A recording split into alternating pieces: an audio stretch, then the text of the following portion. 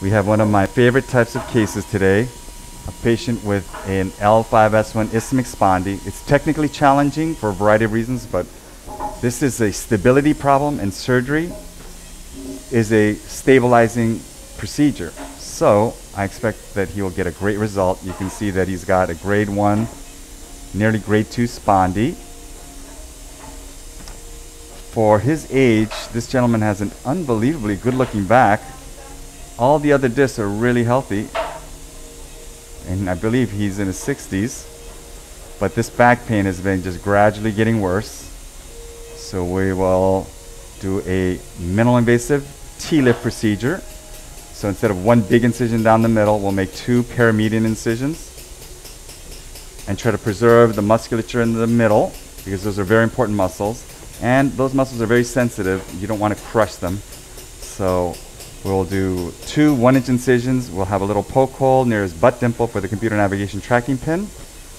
And we're all looking forward to him getting back to his busy life. And if all goes well, the surgery will probably take me about three hours and he should go home tomorrow morning. So we're all rooting for him. All right, we're about to get started. I drew all the perfect lines using computer navigation, which I just love because I'm a bit of a control freak. Starting. He's got some hard ass bone. It's like an invitation. It just says, you know what? Come on in. Take a load off. Have a seat. Oh, yes. That feels so good. I'll take another one. Yep. The X, the uh, screws look perfect.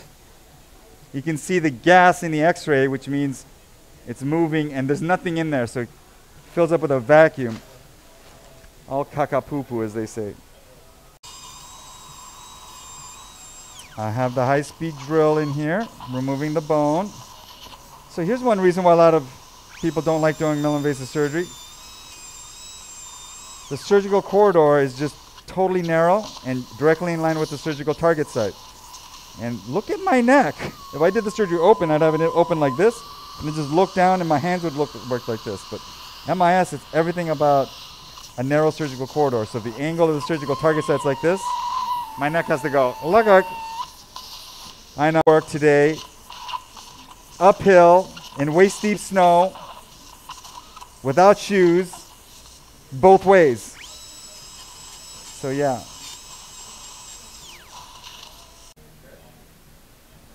Alrighty, this is a very stiff motion segment. And I need to do good release, including fenestrating the posterior, fenestrating the ALL posteriorly. You can see the huge advantage of navigation now because it's like cheating. Of course, I know that the bifurcation has already occurred. I can also see it here. So this is my posterior ALL release as part of my effort to mobilize this disc space and recreate the lordosis that he and all other humanoids deserve.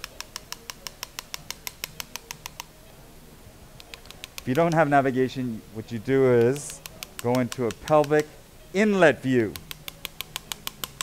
by tilting the C-arm in the AP position into an extreme anti-Ferguson view.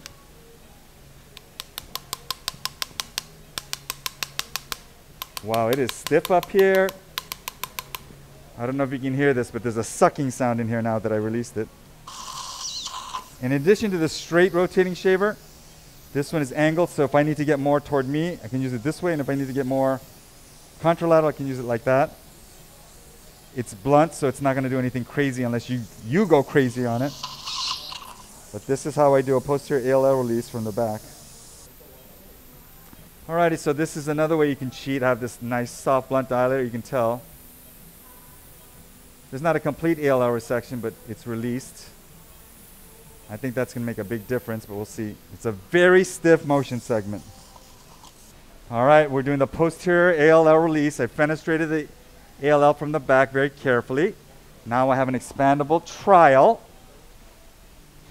Look at this thing.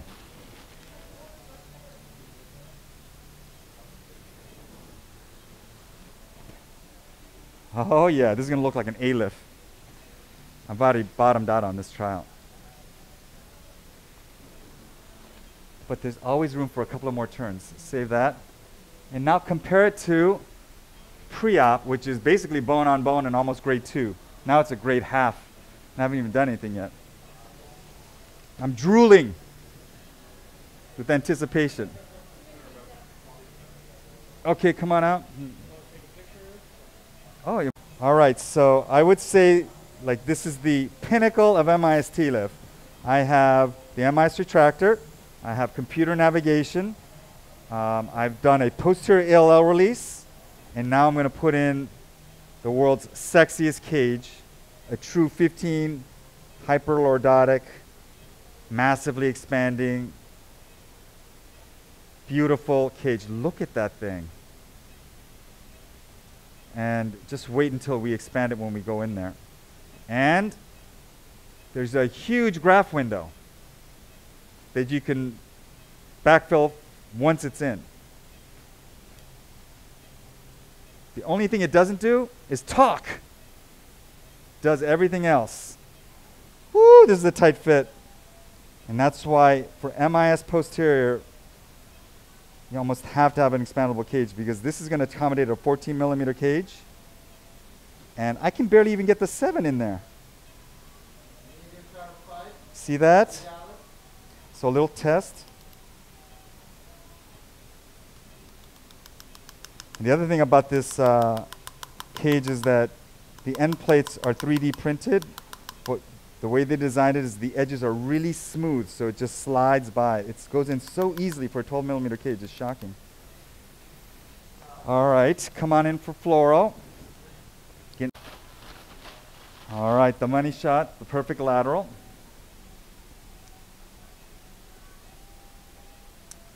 Roll south. I'll get rid of all those wires in a second. Let's get it a perfect lateral. Can you lower the bed a little bit? Yep. And let's rotate the image too. Can you raise your machine up some more? Right there.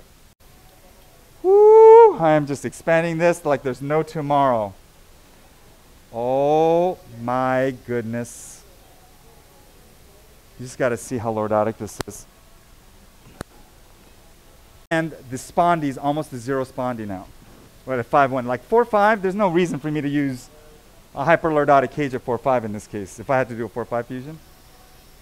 But for 5-1, you have to use this. And I'm telling you, it's going to be so much easier than Altera. People are going to be addicted to this. Don't tell the Altera people I said that. I love Altera. All right, so I've got the cage. I've got the cage in. I've got it crazy expanded. I already put a bunch of bone graft in. I'm going to put in more bone graft because that's how we roll. Are you sure I don't have to take this out? Nope, Alrighty, here it goes. Backfilling the bone graft. especially since I did a posterior ALL release, it's very possible some of the bone graft is going to out the front. Now this will make sure that it goes in the cage, all around, and just it's going to interdigitate. This is my favorite bone graft now. It's flowable.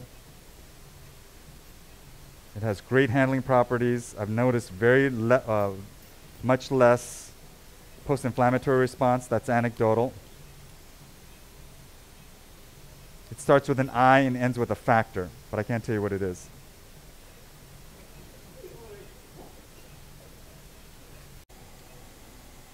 All right, so cute thing about this system is you can take the tulips off and put it back on. And that has a, a variety of advantages for me, look how small this incision is. If I had the two tulips in there and then I need to put the retractor, that incision would be twice as long. And I have some incision size issues. Because size does matter with incisions.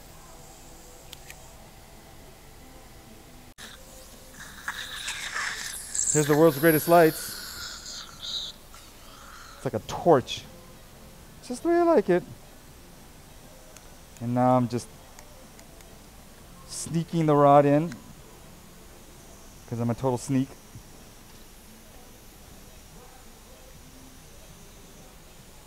And this is how the nut locks down the rod without having to look down there. These little extensions, and we'll break those off at the end of the case. Okay, don't tighten that yet, Jen.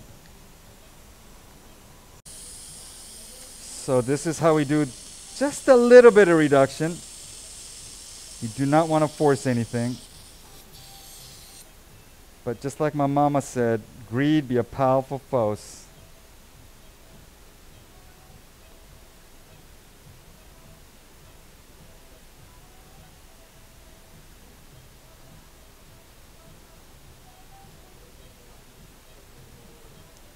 This side. Lucky long time. Lights off. Lights off. Uh-huh. That's gonna be the most satisfying part. This part right here, it does feel good. And putting the last minute touches to the wound. Lower extremity SSEP is improved bilaterally. No way. Yeah, yeah. Right after. This surgery could not have gone better. Honestly. We're like like dancing around, we're high on life. So, we're expecting you to be equally stoked on the results.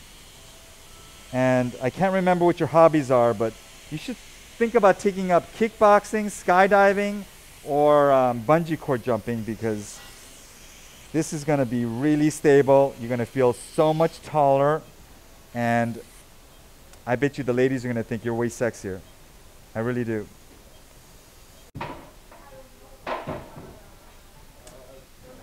So, this is, you know what this So here is the new Sable interbody expandable hyperlordotic cage in the setting of a posterior ALL release.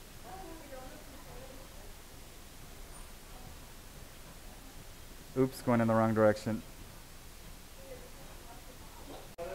Here's the Sable expandable hyperlordotic cage, also known as the sexiest cage alive.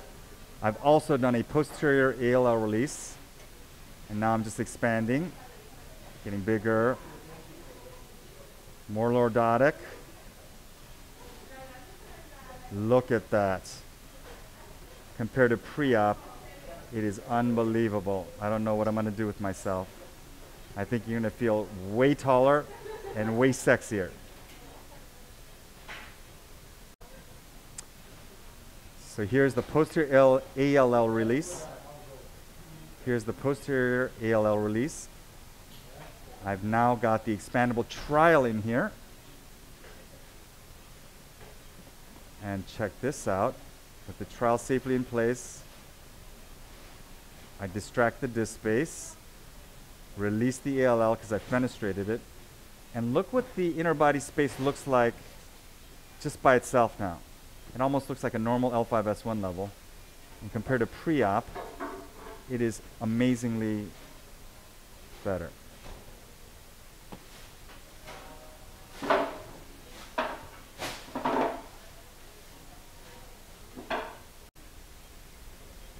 So that is pre-op. It's hard to see, but it's almost bone on bone, almost grade two, grade one, almost grade two.